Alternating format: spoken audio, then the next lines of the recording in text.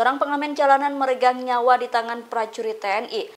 Oknum anggota TNI berinisial Pratu C 27 tahun itu menikam pengamen gerobak keliling berinisial D 23 tahun. Kapolres Metro Jakarta Pusat Kombes Komarudin mengonfirmasi peristiwa itu pada Kamis 8 Juni 2023. Peristiwa itu berawal saat Pratu C bersama rekan-rekannya sedang nongkrong di Kota Tua, Jakarta Barat. Pratu C dan teman-temannya kemudian menyewa sound system milik korban. Korban kemudian menagih uang namun pelaku mengaku tidak membawa uang tunai. Pelaku lalu berdalih hendak mengambil uang ke ATM. Pelaku kemudian mengendarai sepeda motor menuju ATM diikuti oleh korban. Namun sepeda motor Pratu J tak kunjung berhenti hingga disalip oleh korban. Kemudian terjadi cekcok antara korban dan pelaku hingga berujung penikaman.